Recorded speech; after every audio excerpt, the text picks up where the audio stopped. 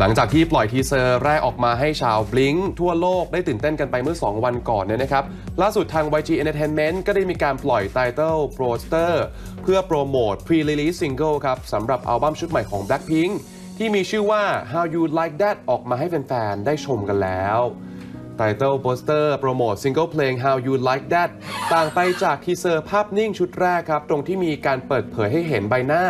ของทั้งเจนนี่ลิซ่าโรเซ่แล้วก็จีซูกันแบบชัดๆเลยทีเดียว ซึ่งสมาชิกแต่ละคนนะคะก็มี look แล้วก็ character ที่แตกต่างกันออกไปอย่างชัดเจนค่ะ โดยทาง YG นะคะได้มีการเผยรายละเอียดเพิ่มเติมว่าซิงเกิลเพลงใหม่ของวง Blackpink นั้น เพลงนี้ก็จะเป็นเพลงฮิปฮอปค่ะ ที่เต็มไปด้วย sound ดนตรีนะคะที่ทรงพลังและร่วมสมัยที่สุดในเวลานี้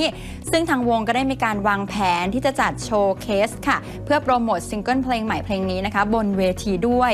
ส่วนในตอนนี้แฟนๆกำลังเฝ้ารอการ comeback ของวง Blackpink นะคะซึ่งจะเกิดขึ้นในวันที่26มิถุนายนนี้ค่ะ